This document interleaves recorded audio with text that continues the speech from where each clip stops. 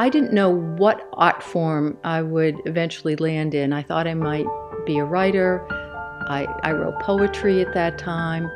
I, I loved literature.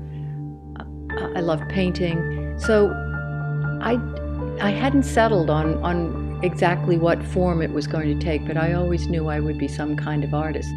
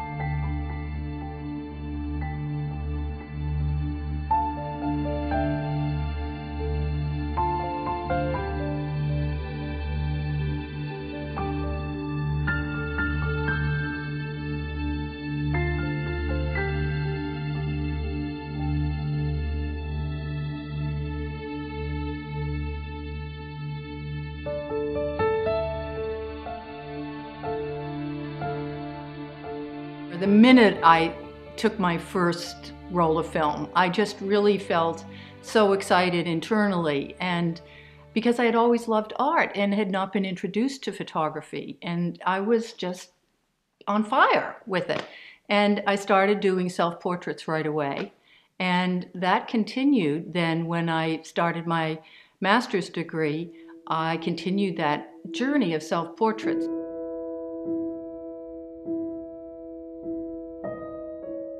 This is one of my early favorite ones uh, of me standing in the snow and with a bird cage and the door is open and this came from a dream I had had the night before and I woke up, you know, really fearful because I couldn't remember whether the door of the cage was open or closed. And I guess that was really a metaphor for my not knowing about whether or not I was a caged bird or whether I was now free.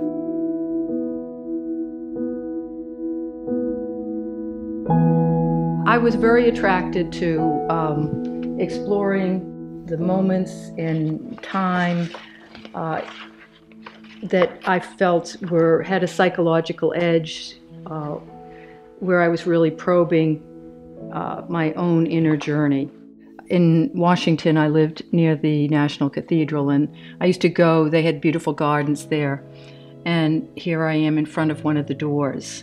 Uh, and you know, you notice there's a key on the door now. I was attracted to places that had kind of a an energy that was ambiguous. I think I admire all artists who really delve into some part of their own psyche and bring that to bear on their work. Because you have to be obsessed with what you're doing as an artist, I think, to really do work that is going to stand the you know the test of time.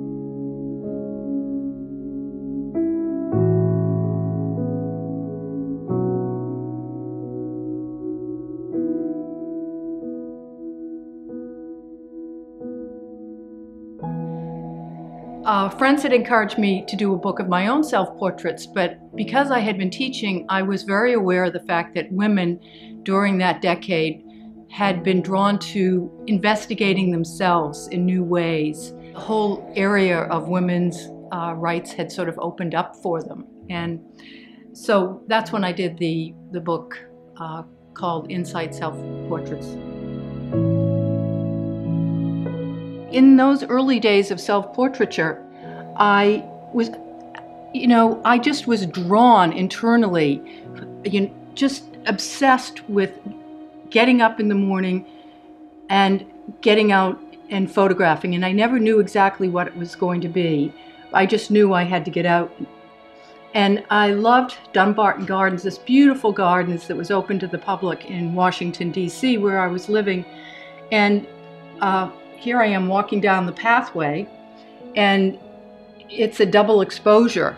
And in that period of time, I of course I didn't couldn't afford to have any assistants. I was uh, uh, teaching, uh, and I, you know, every day that I had off, I went out shooting by myself, and I would put the camera on a tripod, and then I would have 13 seconds, like 12 or 13 seconds, to run and get into place, and then wham. Uh.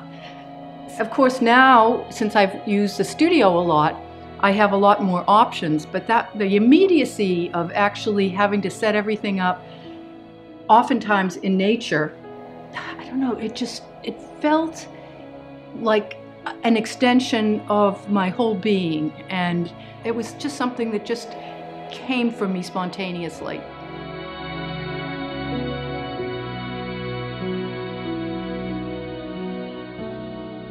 It often has this kind of mystery or haunting quality or intimate quality. Those are those are all words that I've seen written about my work, and I, I think it's true. I, I, was introduced very early to the unconscious. I grew up on the grounds of a convent, and my parents worked there, and we were enlisted to be in a lot of their pageants, and you know I couldn't wait to get away. But as I look back on it it was a rich environment and it really gave space to the unknown.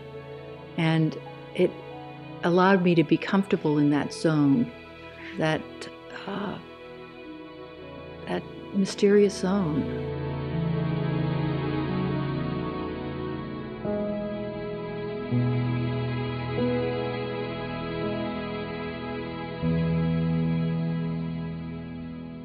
Idea for doing something with this wonderfully shaped shell that I've been drawn toward. And I feel when I hold this shell, I, I feel this or, organic nature power. And so it is something that I, I feel very comfortable and privileged to hold, actually, because it, it, it feels like it has a, a, a mysterious power. So Terry, what I'm thinking about is actually putting it over my face. Okay. And so that you see the eyebrows. Okay. So if you can line that up for me. So I want to, what I do with my models is try to put them in the zone.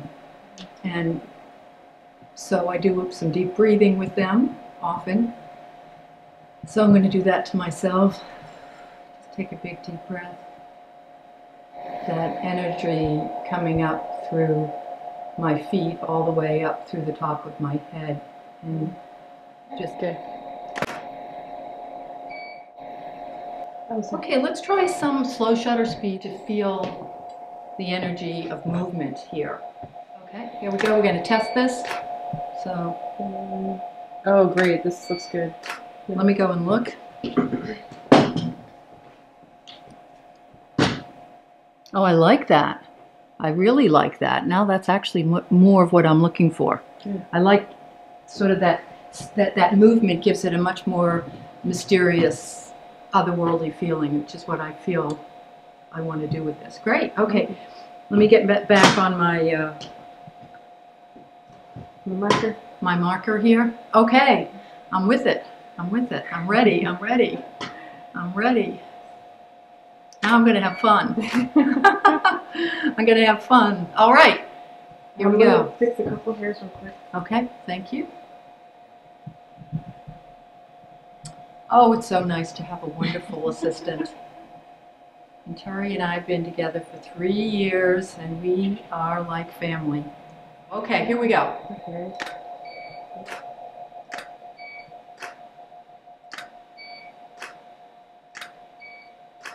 I'm seeing it as this magic wand now. I love this because it's so, it's really, you don't know what you're getting until you look at the film. Oh, I love that. Oh, so beautiful. Oh my gosh, look at the light there. It's really nice. That's a, oh, look at this one. You can see it's, it's, what's so exciting about it is that you, you have an idea that you start with and then as you, as as you work, things happen that you couldn't have even imagined, like that. Let's see. You just gotta do something. Yeah, yeah. But that one was just. It looks like fire. I've always imagined these shamans in ancient cultures, you know, doing ceremonies with shells, and because they did infuse them with such power.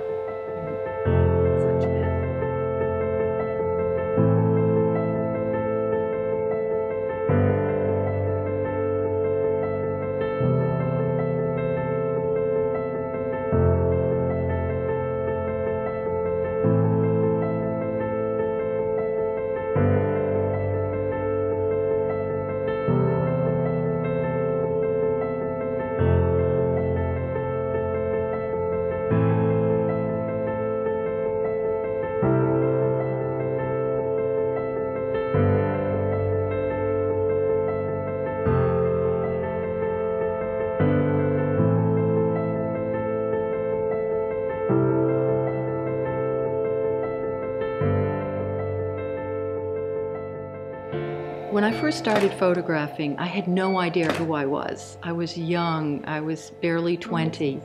And so for me, turning the camera on myself to explore not only photography, but who I was on a deep level. And, you know, it was a time of inner turmoil because I really had made a lot of decisions early on, for example, to get married five days after graduation and, you know, to go to a new city and and I really was troubled about the decisions I had made and was exploring who I really could be now that I had been, uh, you know, shown a much larger world and I was growing as a person. So what I'd like to do is just center myself, and sometimes I, I put my hand on my heart to, to um, connect.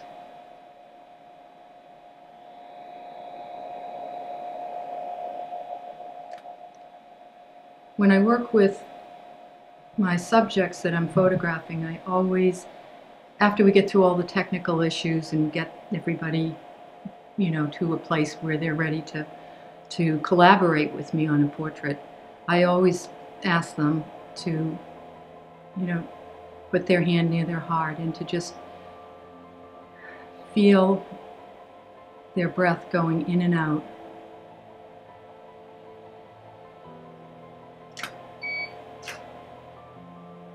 This breath means spirit. And so I like to try to show the inner spirit of my subjects. So in order to do that, I have to go on a journey with them of connecting with my inner spirit.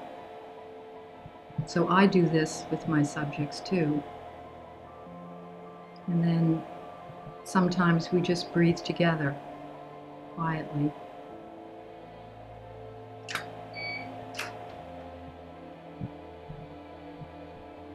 And then I will say something like, okay, let's hands down.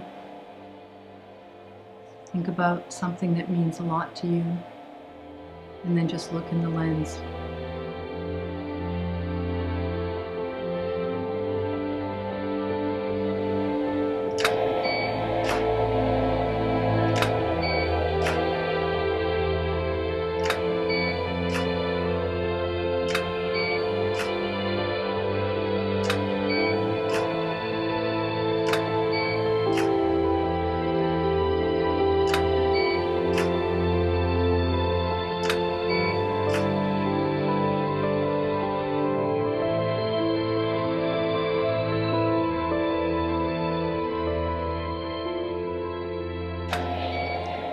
That was fun. That was fun. Let me, let me take a look at those, yeah. My sets, my photo shoots are, are, are fun. I do all the hard work in advance, and then when we actually get there, it, it should be fun for everyone. Not just haha fun, but this sense of discovery, the sense that we're doing something that might uh, be memorable in some way for both me and my subject. It's a heightened awareness and it, it's exciting. I like it when it's a little messy. Here we go. Look at me. Beautiful.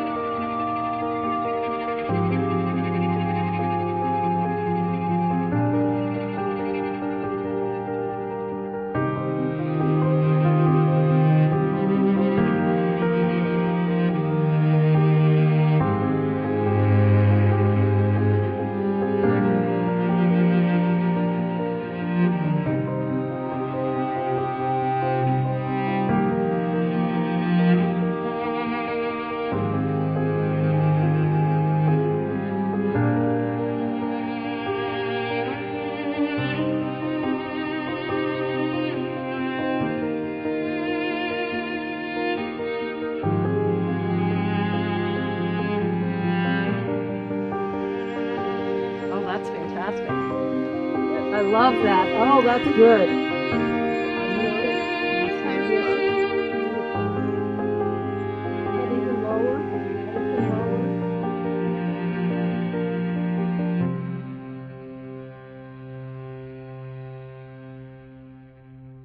When I was using the Polaroid Studio, which I did for 20 years in New York City, I would come with, you know, just a couple assistants and bags full of fabrics and props and uh, other, you know, materials. And we'd have a couple large tables, and I'd put out all of my special things. I'm a, you know, one of these people who loves to collect different types of things. And I would have several subjects coming each day because it's very expensive to rent the Polaroid studio. And then each sheet, sheet of film, even back then, was $55. It's now $200, you know. So you were standing next to this refrigerator on wheels, this humongous camera with a cable release. If you can imagine the camera on wheels, let's pretend she is the subject, okay? Yeah, they're almost right, like so. okay. And here is the camera on wheels. All right, it's big, as big as me, Oh my right? gosh. And there is a lens here. That's like Okay. this. And make the leap. If you look at this, it was so it's two people, and I had this idea of having these these arms come into. Like you're that, gonna- okay. Yeah. Okay. But hello. We have to have hide you behind there. Okay. So here was oh. my concept, right? Okay. And then here's the Okay. camera, right? Hands behind, right? Well, Or or you know, I would have wrapped you in something, right? But black is good. okay. Black is good. All right. There will be dogs. So then, here's the Polaroid camera. Here's the lens. Oh, look at this lens. Oh, Okay. perfect. Mm-hmm. Here's the lens. Okay. Oh, I need somebody to hold the lens. Hey, come on over here. Lens holder. Lens holder. We I'm the need some of these young people. You're the lens. Okay. So I have a cab cable release from the lens. All right. Right. No smile. I know. I know this is Okay. tough. You know. Okay. Yeah, my Look, hands are tired. There we go. Are you okay? Here I'm we just go. kidding. I'll be Let me, okay. like, crouch Yeah, you're a fine, bit? you're fine. No, she. You got to be taller. Yeah. Okay. Oh. All right. Take a breath.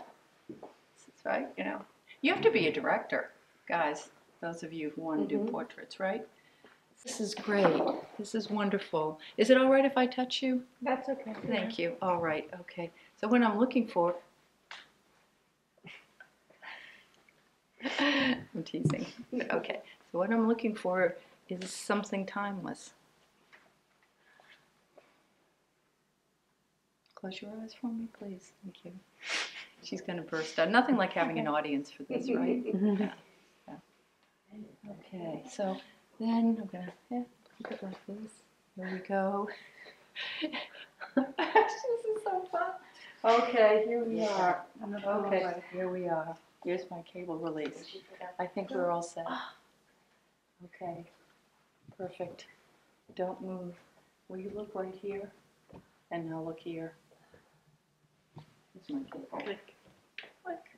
Click. Click. So easy. A reenactment. Yeah. But the great thing Good about the acting. Polaroid Iris. is look at the Iris, skin. You're great. 10 out of 10. There's no Photoshop. Hmm. They had not invented Photoshop. No.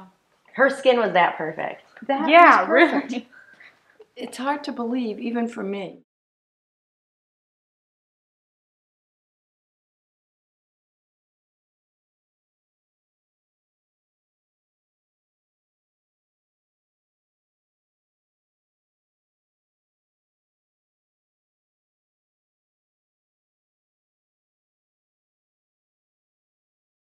When I went to New York, I had never done an assignment. I had just done personal work.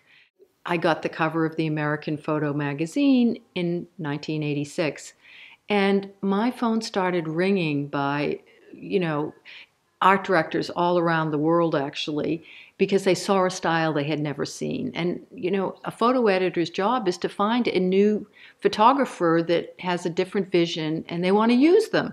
So all of a sudden, I was thrown into doing these assignments, having never done one in my entire life. And there was a fusion between my personal artistic projects mm-hmm. and the assignments.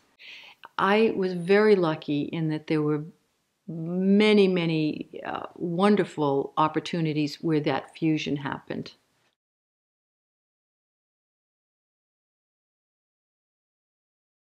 I had a wonderful assignment from Esquire, and every year they do a special issue on women in Hollywood, and, and they hired me to do it one year, and I went out to LA and photographed one of my favorite people, Jodie Foster, who was so interesting to work with because totally professional. She had been, you know, looking online at my work.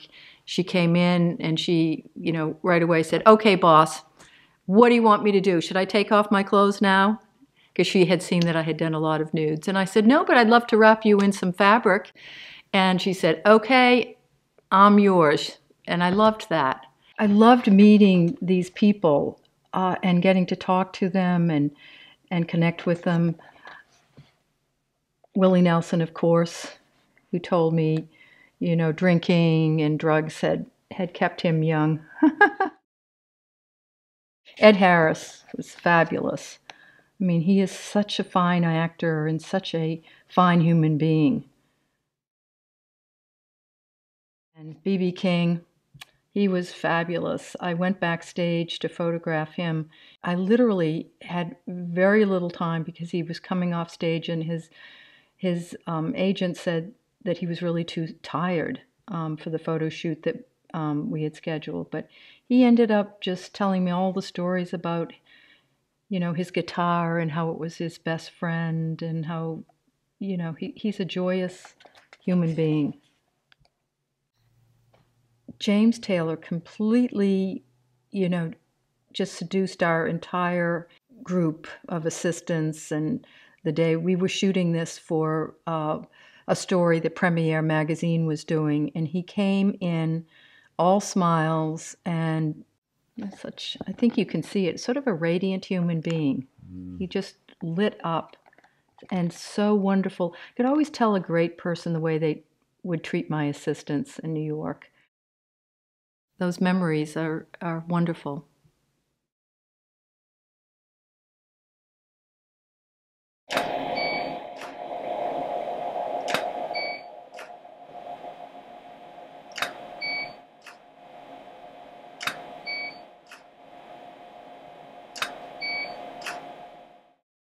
I had my opening for my book Light Warriors. We were at the International Center of Photography, and after the opening, we're getting ready to leave, and my assistant said, So, Joyce, what are we going to do next?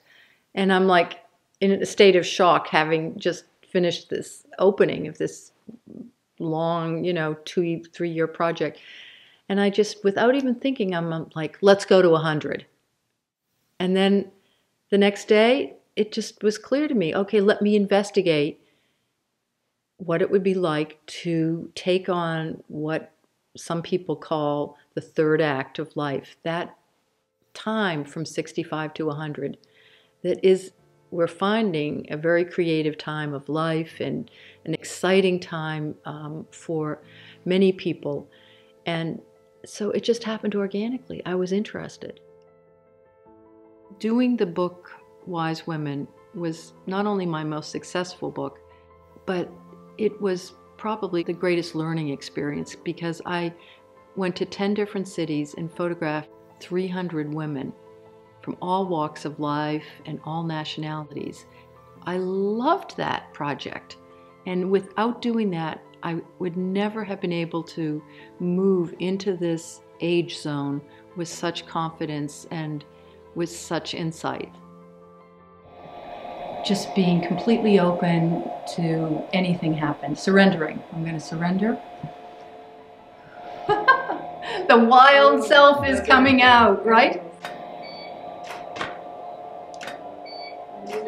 The dance of freedom, the dance of surrender and freedom.